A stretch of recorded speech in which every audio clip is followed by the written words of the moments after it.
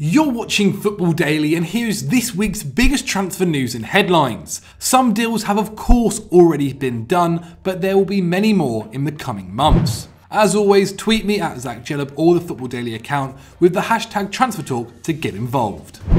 David De Gea's credentials are being questioned more than ever. The Spanish stopper, who is nearing the end of his ninth season with the Red Devils, has made a number of errors in the last 18 months. And with Dean Henderson impressing on loan at Sheffield United in that time, there is talk of the young English keeper usurping De Gea at Old Trafford. But according to the Manchester Evening News, Chelsea are preparing to lure him to Stamford Bridge with Frank Lampard apparently keen to use him as a replacement for Kepa Arrizabalaga. The Blues are allegedly prepared to pay the young stopper £170,000 a week, with his current wages understood to be around the £70,000 mark, with reports suggesting they have already made contact with Henderson's representatives. This is a worrying development for United, with Henderson having previously stated he could look for a move elsewhere if he isn't guaranteed a starting spot in Ole Gunnar Solskjaer's team. With the 23 year old returning to Old Trafford at the end of the season, the United manager has a task on his hands. If he can't satisfy Henderson's demands, he risks losing him to a direct rival which has already strengthened considerably this summer. But what would you do if you were the young keeper? Stay at United and fight De Gea for the number one spot, or move to West London? Let us know in the comments below. Sticking with Chelsea, as it looks like it's only a matter of time until Kai Havertz becomes a Blue. According to reports this week, the Bayer Leverkusen youngster has made it very clear he wants to join the Premier League outfit, and the two clubs are in deep talks over a deal.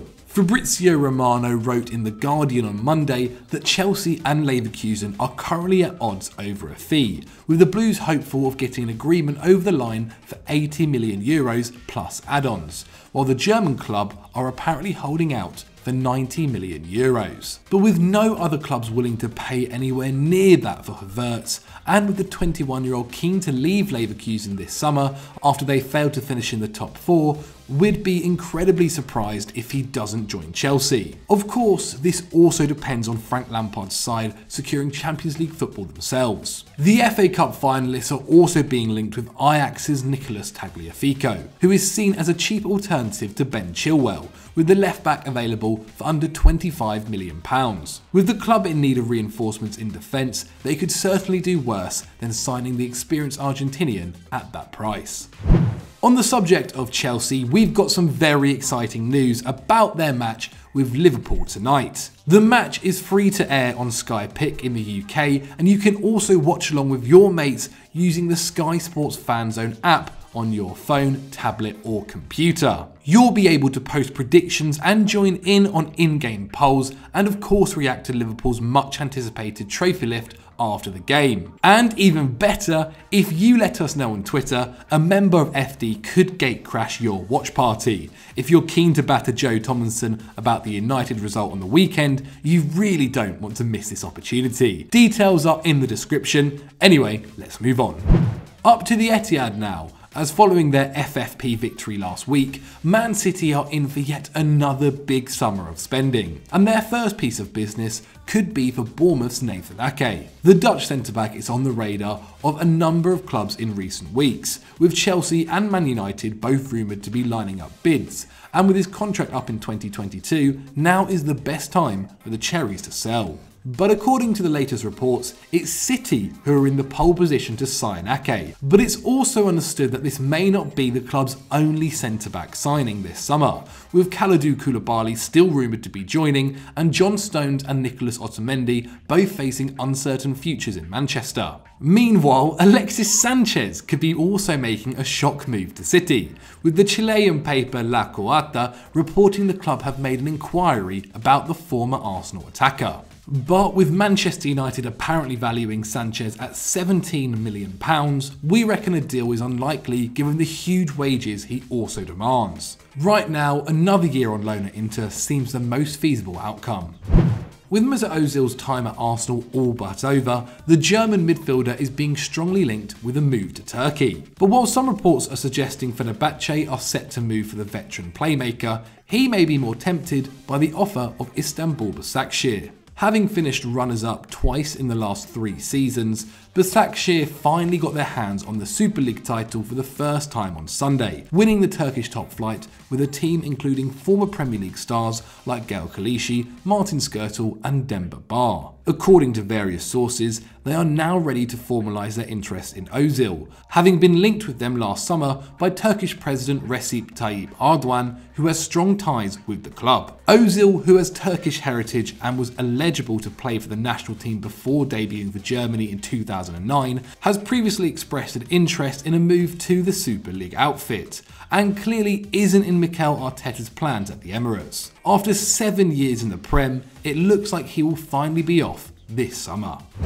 Meanwhile, the Gunners are looking to future-proof their forward line by bringing in Sporting Club wonderkid Joelson Fernandes. The Guinea-Bissau born forward, who represents Portugal at youth level, started training with the Sporting first team squad following lockdown, and has made three sub appearances in Liga NOS since the start of July. The 17 year old is one of the most highly rated young players in Portugal, and given Sporting's historic track record of producing world class wingers, we wouldn't bet against him developing into a top forward. Joelson has a contract with the Lions until 2022, which includes a 45 million euro release clause.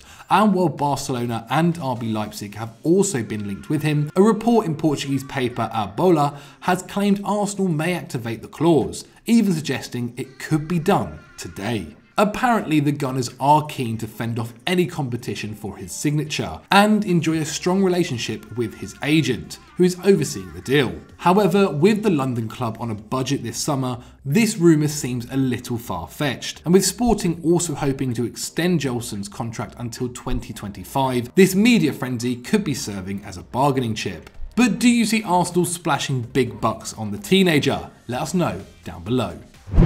We finish off at Real Madrid, where following his awkward La Liga winning celebrations with the squad, Gareth Bale could actually be staying this summer. At least, that's what his agent Jonathan Barnett is saying. The Welsh superstar has suffered under Zinedine Zidane at the Bernabeu, making just 12 starts in the league this term, and has shown an increasingly apathetic attitude towards his role in the team in recent months. But despite Los Blancos being keen to get him off the payroll this summer, Bale is going nowhere according to Barnett. The agent's reasoning is that there is simply no club willing to cough up the money needed to take Bale away from the Spanish capital, confirming what many Madrid fans have been fearing in the last year. With his contract not up until 2022, Real fans may have to put up with him sleeping on the bench and playing golf for another two years.